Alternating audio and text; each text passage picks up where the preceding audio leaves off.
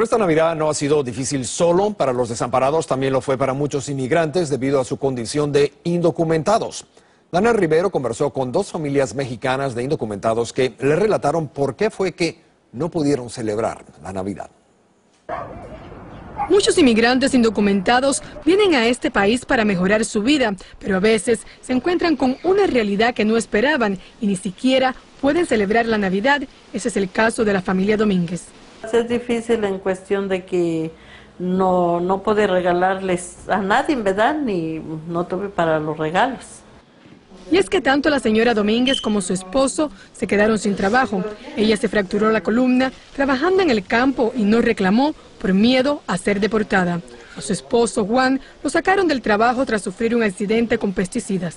Primero se me fueron la fuerza de los pies y después se me fueron la fuerza de la mano. Yo me paso triste todo el tiempo, todo como llega, como así como llega estas fiestas navideñas. A esta calamidad se suma la situación de su hijo de 16 años de edad, quien a pesar de ser un estudiante excepcional, no podrá cumplir el sueño de ser abogado de inmigración por no tener documentos. Quiero estudiar porque no, no quiero estar, no quiero vivir así no, toda mi vida, pero que también quiero ayudarle a mi mamá para que no trabaje uh, los últimos años que vive. Otra familia que no ha podido celebrar la Navidad como de costumbre son los Cruz.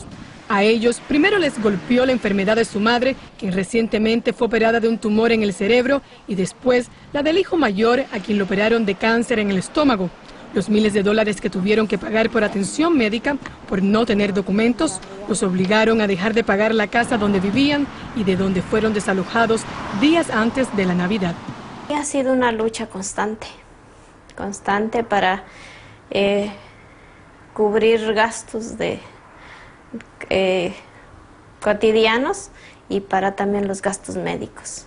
Y aunque estas familias no recibieron ningún regalo en estas Navidades, aseguran que si tuvieran la oportunidad pedirían un cambio a las leyes migratorias. Que dieran papeles para todos. Si yo recibiera mis papeles, qué bueno sería. Para mí sería algo bueno. Muchos de ellos anhelan que antes del año fiscal se tome una decisión en el Congreso para que pase una reforma migratoria y de esta manera poder legalizar a unos 11 millones de migrantes que permanecen en la oscuridad actualmente para así poder celebrar el año que viene, la Navidad, como es de costumbre. Esto es todo de mi parte, Ricardo. Regreso contigo al estudio. Que tengas una feliz Navidad. Feliz Navidad a ti también, Danay. Ojalá que el 2014 traiga mejores noticias para los indocumentados.